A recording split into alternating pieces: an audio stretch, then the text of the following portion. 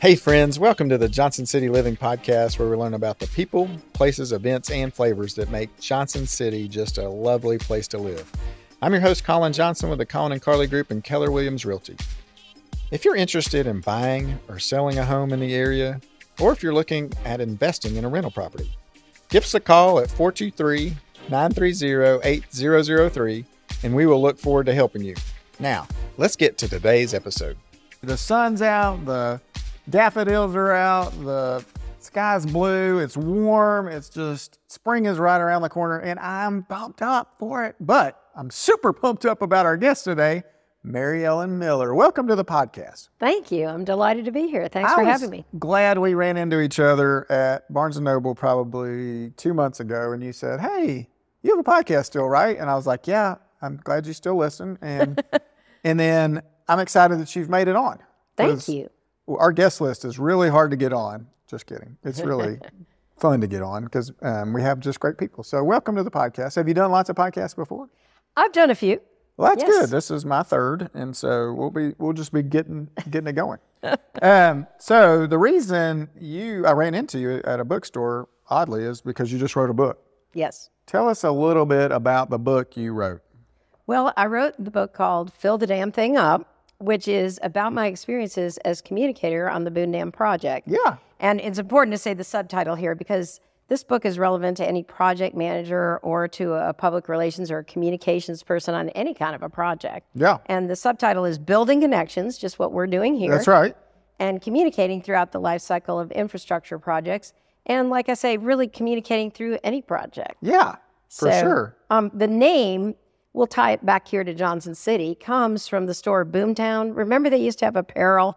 They had like hats and t shirts that Yes. said, fill the damn thing up. Yes. And what's really funny is that I don't think they realized at the time was that our engineers and geologists on the project would be wearing that Oh, that's awesome. attire That's great. coming into meetings.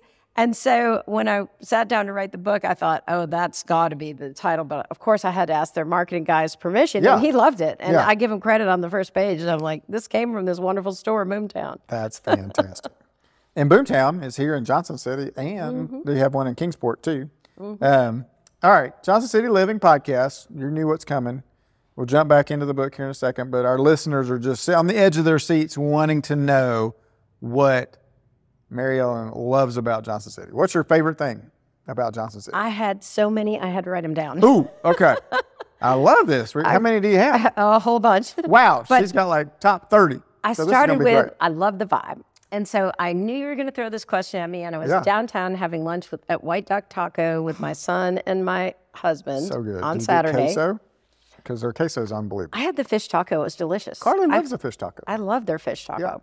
And um, then we walked out and we're looking at Founders Park, and then we see the mural. There's a guy with a guitar walking past the mural with the guy with the guitar. I'm like, this place is amazing. Yeah. Where where do where do I stop? Um, track bikes. Uh, I work at Spark Plaza. I'm uh, a member there, and so it's so great to have that vibe yeah. of Jose and Shannon's like Oh, it's- mastermind working, Yes. co-working, networking project house. It's just super cool. absolutely that that you know it's truly a spark when you see somebody there and and um, you can I bounce ideas off them. I think it's the best idea ever. Me too. And um, the Tweetsie Trail is a whole story practically in itself. My husband and I run out there usually a couple days a week. Love the Tweetsie Trail. Yeah. And then I have um, really, to sum it up, it's small town with a big city feel. Amen. And examples of that would be like we went to see My Fair Lady at the Martin Center just a couple weeks ago. Wow, How cool was that? huge Yeah. Broadway show Yeah. fabulous. Yeah. I mean, it doesn't get any bigger than that. I heard Mitch Albom speak at the Martin Center a couple weeks after that with the ETSU Festival I- ideas. And let's, what about ETSU in and of itself? It's awesome. What a fabulous Yeah. Engine, economic engine to our area. One of our So, guests said that she that was her favorite thing about Johnson City ETSU. There you go. Isn't that cool? So, so I know I had a lot of things there, but um, and then want to hear a funny story. My husband said you need to tell them about the pronunciation, so I'm going to tell you a little story here. I love it. I came down here as a broadcaster originally on JHL years ago. I do remember That's that. what brought me to the area. And so my then news director sat me down just like this and said, repeat after me, Appalachian. and so I said it, and then he said, Elizabethton. That was going to be my next one. It's not So- Elizabethtown. no, my husband said you have to mention those stories as well. Yes. But um, and then the fun cultural differences that I think still hold, even though I know we have many people from other areas here. Um, I moved down. I'm originally from Buffalo, New York, but I moved down here many, many years ago, and and this is home, and my husband's from here, and all that. But um, I know there was always a cultural difference that you never honked your horn here, right? You you just waited patiently for the person in front of you. I'll call it audible on that. Okay. You do honk your horn because you see somebody. You go beep beep, beep, Yes. and you. So that's how you honk your horn here. And that really reminds you, we have the wave here too, right? Oh. Different kinds of wave, but we wave, you know? I wave at everybody. And if you don't wave, it's like, why didn't they wave? Like I'm going in and out of my neighborhood all the time. I'm waving at people every time. I'm like, hey, there's my best friend. I don't know you, but you're hey, Right. hey, hey, hey. Right. So there, you got a list from me, but I just love Johnson City, as you can tell. Yeah. Mm-hmm. And how long have you been here? Oh my goodness. It's um way over 30 years now. Yeah. So, yeah. That's awesome. Came down in the so this is home. Yep. Where did you grow up?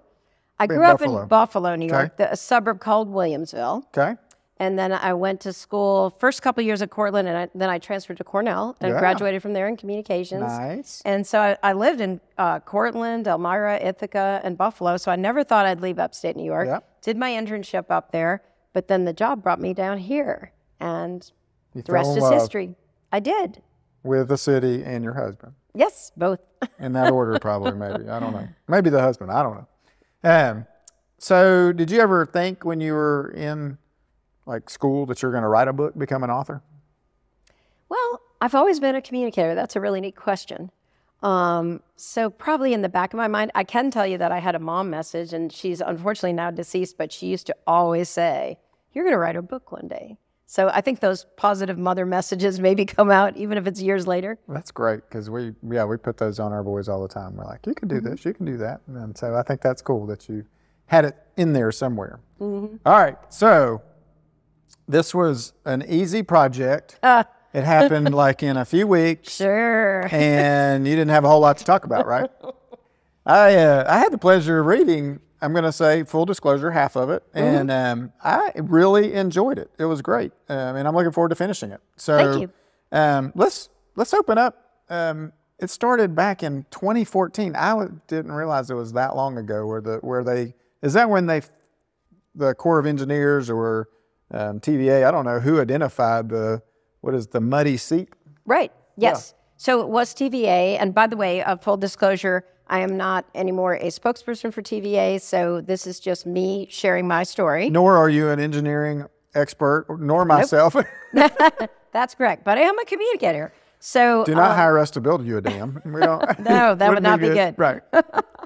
But um, the the dams were built by the greatest generation, and yeah. they built them to last. And technically, the dams are only supposed to last about 50 years, but this one lasted like 63 or more. And so it was doing really well. Uh, but then during um, first, there was a muddy, se- uh, muddy, uh, excuse me, a sinkhole discovered in the parking lot of the control building. And a very short while later, the dam safety inspector found a muddy seep at the base of the earthen embankment. So when you look at the dam from that overlook over there in gray, a lot of people probably are familiar with that. They tend they see from that overlook the concrete dam, but perpendicular to that runs the earthen embankment.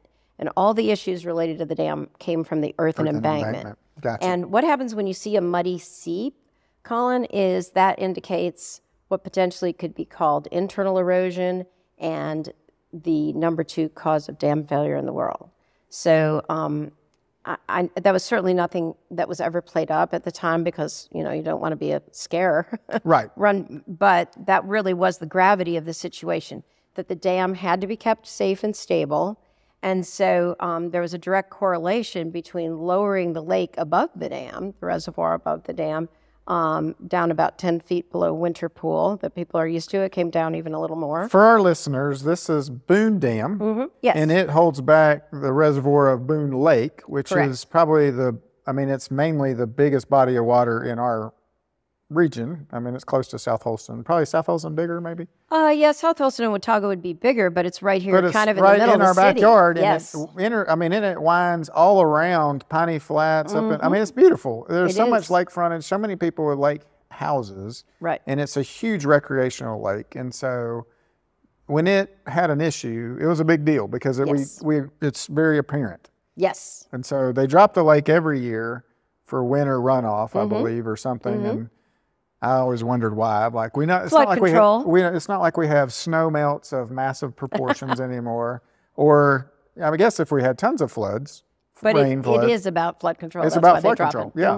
Mhm. And, and so every year it drops, what, 10, 12 feet? Yeah, I think about 10 feet, but it, this went down another additional 10. So it went way down. Yes. From what us natives here have been looking at for the last 20 years, it was like, Right. oh, wow, it's way down. And Right. so this leads us to the conversation of Sure. the dam issue. and I'm glad you got into that a little more because we just sort of launched into that conversation. Yeah, we did. Because you and I, we- we, know what the Right. dam is. And so, and I got calls as an agent all the time like, hey, we're looking for lake houses, but we hear you don't have a lake currently. And I'm like, well, we don't, but they're working on it. And we should have one in five to seven years. Exactly. And that's the way it went. Yeah. And um, they would not have invested $400 million in this kind of an infrastructure project if it wasn't going to come back. If people Right. ever asked me that question, that was the answer I'd give.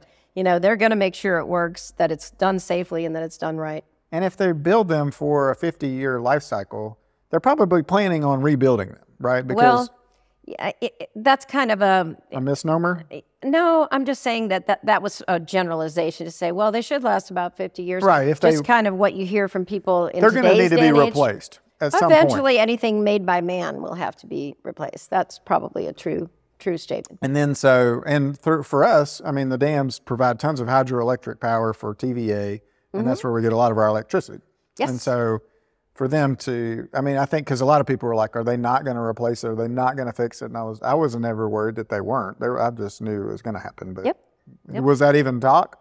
Not to my knowledge. Yeah. No. Yeah. that was not going to happen here. right. Plus, you got property value owner. I mean, mm-hmm. owners of pro, you know, they would have been. It would have just been a mess. So Yes. here we are. We have muddy seep. We have a an internal erosion issue potentially. You said that could be the number two cause of a dam failure. What's, Mm-hmm. Right. What's number one cause of dam? Over topping when water actually comes over the top of a dam. That's Oh. the number one. And that does probably happen from floods, maybe. Uh, well, you know, you hear about it particularly on an international scale. You hear about that happening from time to time. yeah. Um, and I'm actually I'm glad I just mentioned international. I think that's another aspect of the project that probably a lot of people don't know about it. International minds, minds from all over the world, were brought in to work on this project, and so I got to sit there. You were saying you're not an engineer. That's for sure. I'm not, but I am a communicator, and I would listen to not only highly technical language every morning, but also very accented language. It could be Italians, French. Um, uh, Morocco, I think Australia. Oh, wow. United Kingdom for sure, all these accents. And it was so fun to have all these people together in a room and the lead expertise from TVA, of course.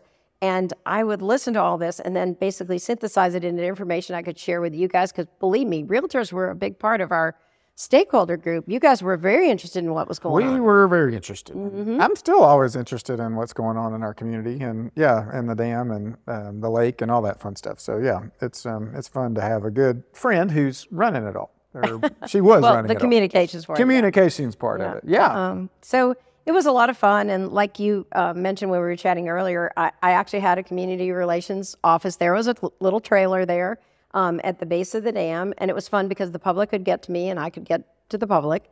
And we had drawings that we could show them what we were doing. Um, we had a model dam. That's something I would definitely. I read that in here. and I was like, recommend. man, I didn't get to see the model. I had this I had this vision. If only I could have a model to take out to school groups because we were talking to so many STEM groups and Yeah. school kids from like kindergarten through the ETSU Geosciences program. Dr. Nandi would bring her students out there every year. It was so fun. And one of them even got a job through that. Oh, that's cool. Um, but but talk about having an amazing geosciences project in your backyard. And um, so I thought, if only we could have this model. And I shared that with some of these wonderful, brilliant people I got to work with.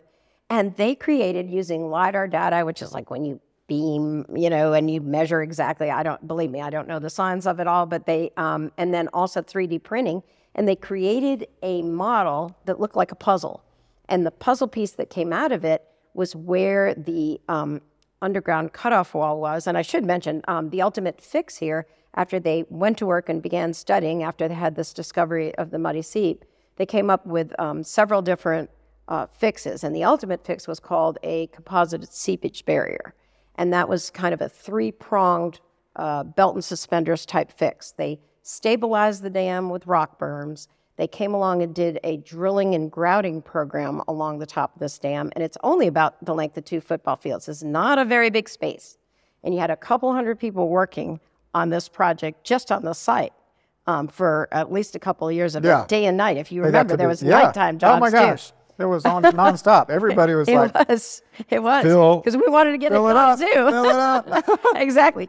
And um, so it, it- and then the um, probably the showpiece of it because it involved the largest uh, pieces of heavy equipment and major major drills was this underground cutoff wall, um, which was these massive massive uh, round. Uh, concrete pilings drilled down up to 170 feet down I under the dam. 170 feet Isn't down. that That's amazing? And about 50 inches around. So picture overlapping circular concrete piles all the way down the dam. And it literally cut off, though, that was the name. It cut off that seepage from occurring under that and through that earthen embankment. So it was fascinating. It was a great project. We actually won a bunch of international awards for it, too, several That's really cool. cool. awards. And community relations was a component of it. So That's awesome. Congratulations. Thank you. yeah. Um, I think we you did a great job because we always kind of knew what was happening and knew what was going on, and it, it- I would read uh, see the news or read in the paper. Hey, this we're at phase three or phase. You Mm-hmm. know, we're working through it, and um, yeah, I mean we're all excited because we want to go back on the lake and we want to see it back up, and um, and I know a lot of people wanted to just enjoy the lake. Um, and so, how was it? Was everybody uh, like easy to deal with when you were with? Oh yeah, sure, super. Everybody's easy. just super excited about the dam, you know, the water being low and they can't use their boats and hey, my boat's stuck in the mud. Can you get that out? You know, kind of thing. So I actually share stories. You know, when I when I first was going to work on it, um, and the way I heard about it was through our local public relations society. My then po- boss put out a notice. She wanted somebody who knew the local community who could communicate, and I had two college students with me um, at the meeting, and we were coming home, and I was like, "Oh man, this sounds great." And so they were enthusiastic. They wanted to know why. And I said, wow, you know, major project. And basically, you're turning an aircraft carrier around in terms of how you're shifting public opinion from an incredibly negative and devastating, we certainly understood that to the public. Your lake's going to be down five to seven years, you know, that's a big deal. significantly. Sure. and we didn't know about it, right? I guess in other, let's say, down the road in Knoxville, they Norris Dam. Would you would they communicate that ahead of time and say, look, we're gonna, the dam is 50 years old. We're going to replace it in the next 10 years. Well, I wouldn't know, don't know anything how- to speculate about another dam, but in this case, it was actually a situation where they were having to create the fix in real time. You Right. know, you're into real estate. Yeah. But if you were going to build a house, you'd probably go out and get the builder and have plans and have all these things worked out before you unveiled it to your friends. sure. But in this case, the public knew what was going on, and then FEX had to be created in real time. Right. And then it had to be And we're hearing, we're hearing about surveys and studies, and Mm-hmm. oh, we think it's this, we think it's that. We're going to try this, we're going to try that. We're looking at this, and so there's a lot of talk around it. And the Mm-hmm. Right. cool thing is, you were helping architect all that talk. It, it was a lot of fun. And honestly, at first, I, I liked a kid because we became such good friends with people. Specifically, I'm thinking of the Boone Lake Association. They ended up just being great to work with. We'd bring volunteers out, we'd do the annual cleanup day. But initially, it was arms folded and is she really going to even show back up again? I don't think they believed I would, but I, I like to say half a life is showing up, right, Colin? Yes. And Amen. so, guess what? I'm back the next month, and There the next go. month, and the next month. And then we would, um, in terms of tools for communication, I used a newsletter, and we had an incredibly high open rate because if they subscribed, they wanted to know what was going on. I was on. on that email list for the Great. Boone Lake. Yeah, Great. it was cool. Uh, Twitter was the uh, tool of choice at Yep. that time, uh, the social media tool.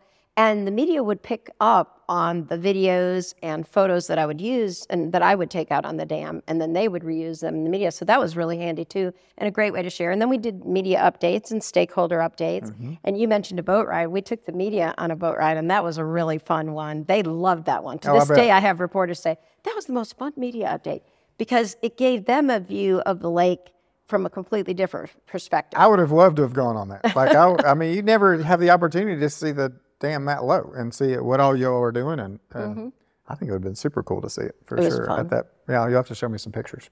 Sure. Um, talk to us about like I know because you wrote the book about two project managers, communicators, that kind of thing.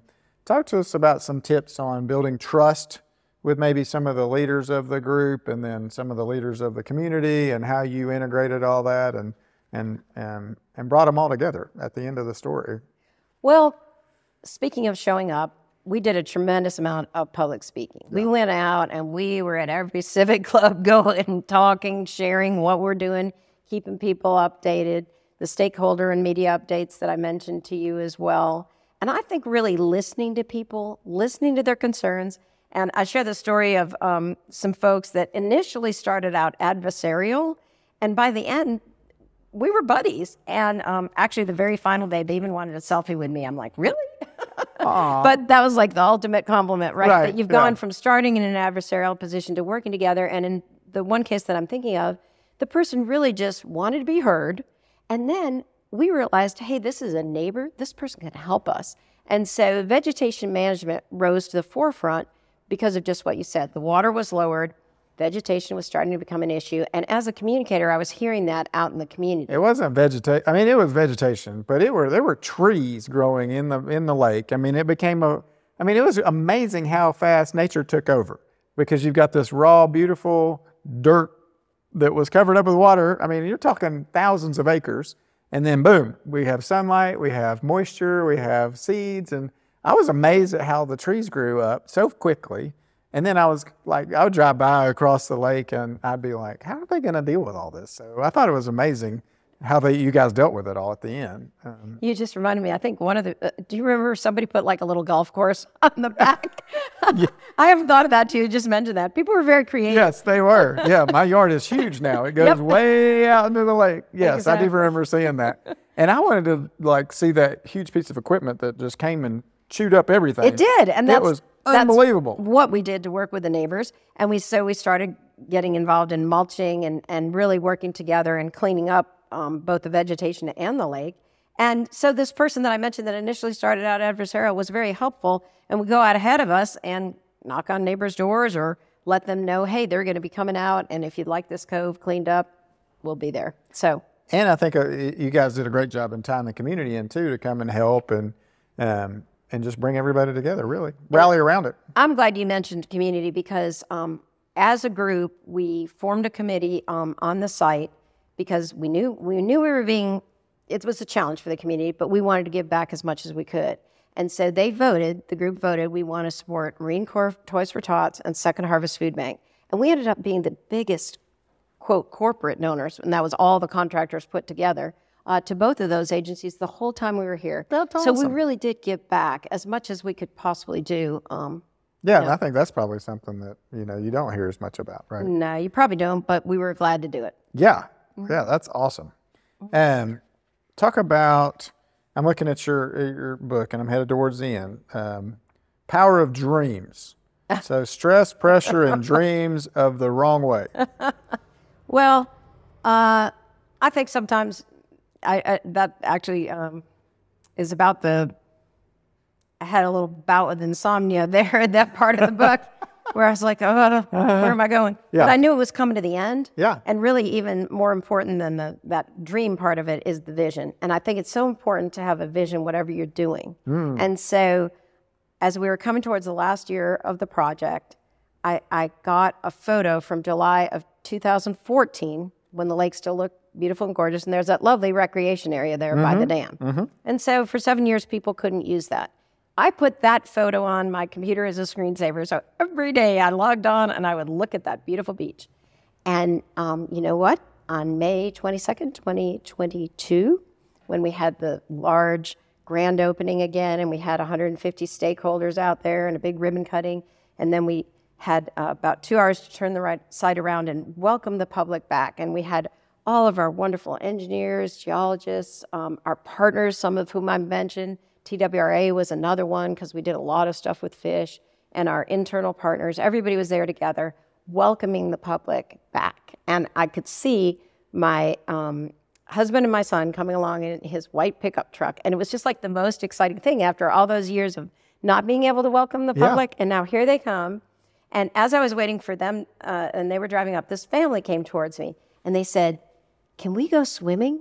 and I said, absolutely. Yeah, and, what it's for. And they jumped in the water and like everybody started jumping in after other families visiting. And it was just the best feeling, like that vision of the dam with the beach area from July of 2014. Mm-hmm. And there I was looking at it back in 2022. So it's important to have those goals out in front of you, right? Yeah. And you guys made it on time, right? I mean, Yes. It was a five to seven ballpark and you came in right around there. Yes, the lake actually started to come back six years um, in. There was some. It was an experimental year, but it was up to full pool during that time, and then it was officially back at the end of uh, seven years. So it was on time, under budget, and um, done safely. That's the most important thing. Yeah.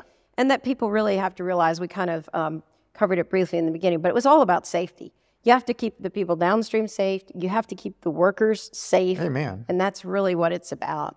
And you know, there were there were some people that would be like, "Well, Hoover Dam was fixed in two years." Well, tragically, Hoover Dam lost 96 people in the process. You would never accept losing one person today. That's absolutely unacceptable. So we have greater safety regulations now, but we're keeping people safer. So Yeah. Yeah. Mm-hmm. That's awful. Um, I just went somewhere. I was like, that's not good thinking about losing people on under it. you Um, never want to do that anymore. But Yeah. it's hard to believe they they would accept they that would just back. accept that. Yeah. They're like, eh.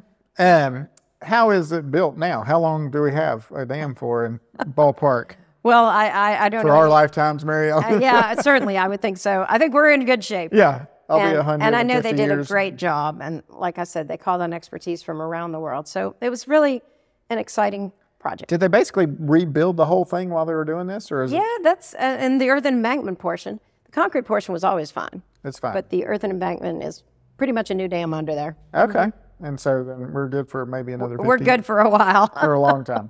yes. That's great. Mm-hmm. Um, I loved reading in your book how you were talking about being, you know, being confident and Yes. throughout the, the process, and because people are looking to you as the communicator. Mm-hmm. Is this thing, Mary Ellen? Is this thing going to work? Is this project going to work? Are we going to have a lake? Or you know, and and then for you to carry yourself confidently, what did that do for the media and for the and for our community? Well, thank you. Yes, it was important in terms of people, especially people connected to real estate, would ask me that: Are they really going to do this? Is this really going to work? And and of course, I would always answer yes because I knew they were. Absolutely. But um, our project manager was the subject matter expert who was often interviewed on TV news and you know in the media, and uh, he did a great job of that. He was very confident, and he would get asked that, the mic in his face kind of thing. Are you confident about this specs? How are you going to fix it?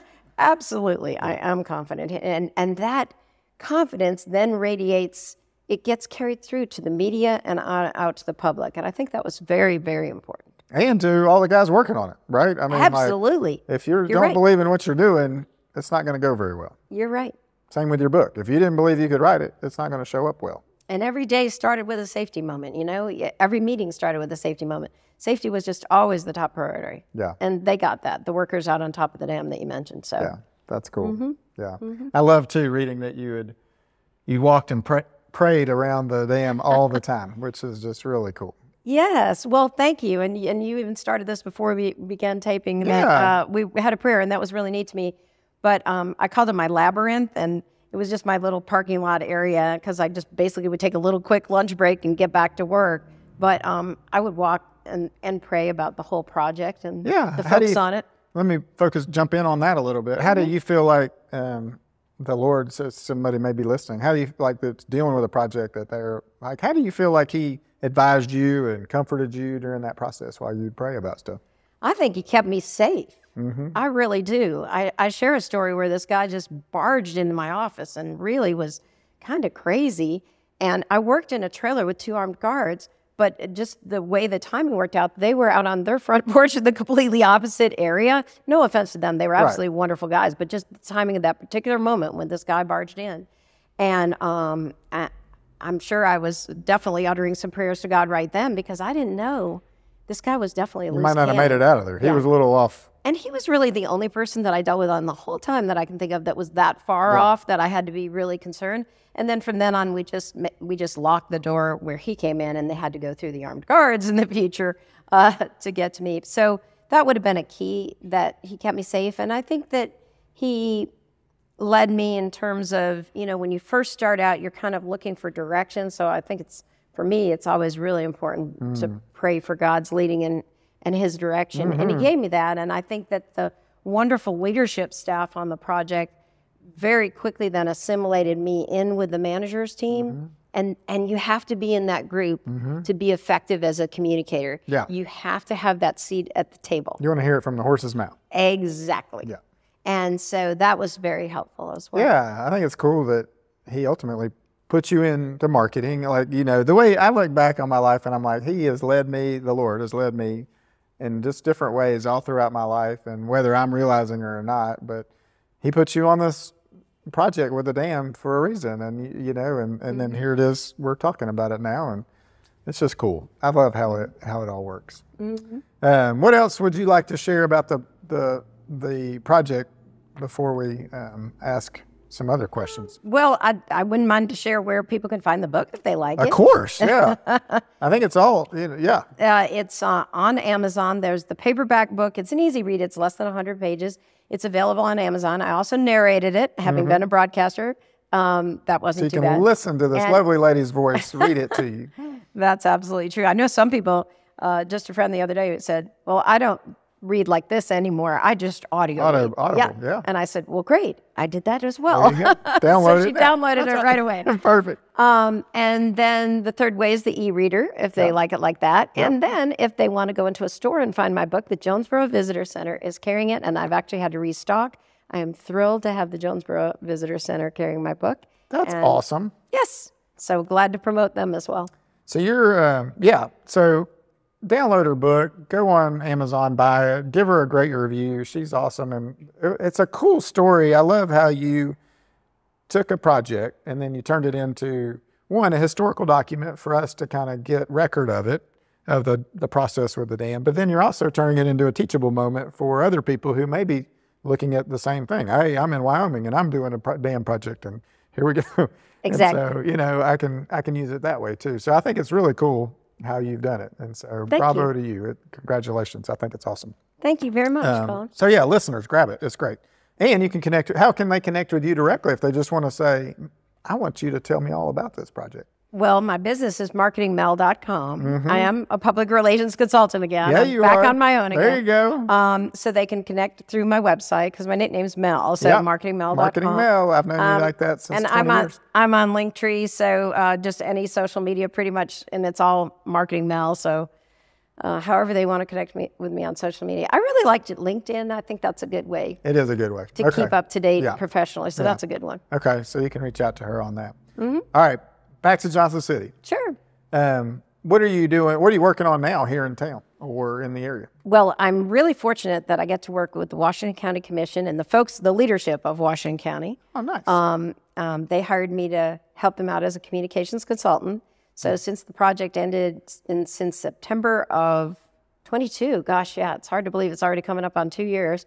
I've been helping out Washington County. Joe Grandy needs all the help he can get. I love working with Mayor Grandy. He's great. I'm actually helping with a video right now for the city county town lunch. And you need to come April 11th. oh, that'd be cool. So working Yeah. on that, pulling back on the old resources of uh, video production. It's crazy what you get into. I love Joe. He was a guest on here a long time ago. Yep, he's great to work with, and the commissioners, mm-hmm. and and all the officials. Really, they're a lot of fun, and um, they do an excellent job. So that's that's fun. And then um, I also help Monique Carr, fine artist, with her newsletter. Um, I just love going and sitting in her fine art studio right here in Johnson City. She has it in her home. Oh, wow. But you sit there with these incredible paintings surrounded by this beautiful artwork. And she's talking to me, and I'm right, busily writing down story ideas for her for her newsletter. Oh, that's, that's what I help her with. Because her time is better served to be painting and not to be writing. What type of painting does she do? Um, oh my, it's a lot of abstract and also landscapes. oh, cool. And her landscapes, particularly when she does the seascapes, sell really well over in Charleston. Uh-huh. She's at Dare Gallery over there. She's also um, in some galleries in Western North Carolina and then down in Florida as well. So, That's awesome. Yeah. Yeah. Well, good luck with that for sure. sure. All right. Um, tell me your husband's name again. His name is Dan or Danny Miller, and he is actually director of administration and finance of our church, Grace Fellowship Church. So don't mind giving them a plug either. Mm-hmm. Give them a plug. Yeah. Uh, they're a wonderful church. They're a wonderful church. A lot for our he's- community. He's a great guy. Oh, thank you. Um, all right. You and Dan are going on a date. Where are you going to go? well, yesterday we went to the Tweetsie Trail running. That's pretty common actually That's for us. Inexpensive, healthy. It's great. So, um, Do you guys And like to hike and do a lot of that? Yeah, we do a lot of outdoor stuff. We love Watauga Lake. We keep a pontoon boat on Watauga so Lake. beautiful up there. So that's probably one of our favorite summer dates is just Mm-hmm. even bringing food onto the boat and just hanging out. yeah. Um, and any, my husband really loves Firehouse, so we're often seen there. I love the firehouse. Good local, delicious food. It's so good. But we're out and about quite a bit, so. What's um, your favorite place to get a hamburger? Do you even eat cheeseburgers? You're pretty healthy. I really don't usually eat hamburgers out. I hate to tell you. you don't eat a hamburger out, man. We're gonna have to go get you a cheeseburger. I would tell you, Pals. Where's your favorite place? Pals is fantastic, and then right behind us, the Label. They make a mean burger, I've and heard that. Gourmet's burger is fantastic. Anything from Gourmet. Do you guys eat out a lot or no? Um, Not much. But Gourmet, I love. All right. What's- Excellent food. if you're going out to eat, where are you gonna go and why? Um, This is like just for our listeners to get a little for like really fine dining, whatever you're thinking. I mean, Okay. it could be Well, falafel, and we're gonna go to fine- Babylon where we went yesterday. um, fine dining, I really like uh, Gourmet. I think it's delicious. Mm. Yeah, and Howard I- and Vaughn do a great job. Yeah, it really is. I mean, I, I don't know how you beat that It is good. That's right. really our good. area. But gosh, we have so many great places. Yeah, yeah. Um, what do you and um, Dan like to do for fun here in town besides run on the Tweetsie Trail and go up to the lake? Um, And we've else? done a ride with Spark on a, a Trek bicycle. Oh yeah, That's a lot of fun. yeah. Just riding bikes like the taco trek Yeah. thing where you Yep. like there's a group of people they meet up. Is it Thursdays in the summer? Um, they did a special one for Spark Plaza. They've done a couple of Okay. them that we've done with them. I think it was Tuesday. Yeah, they do the taco trek, and then they'll so they, you can meet at the uh, Trek Bicycle Shop and rent a bike if you don't have one, and you ride around, and then you get a taco, and I think you get a free half a beer or something. Yeah. Yeehaw. That's right. That's exactly right. How good So a deal is that? that was a lot of fun. Yeah. We did that a few times last summer. So, um, I don't know. of What course, are, yeah, no, you're good. Um, like, what are some of the events that you look forward to in Johnson City over the over the course of a year? I love Meet the Mountains Festival. Mm. I love that one. Yeah, and they moved it down to uh, Winged Deer Wing last Deer year. Park. That's right. Yep. You always meet uh, cool and interesting people. Um, It wouldn't have gone so well seven years ago over there at Wing Deer Park. yeah, they probably uh, Meet the mud.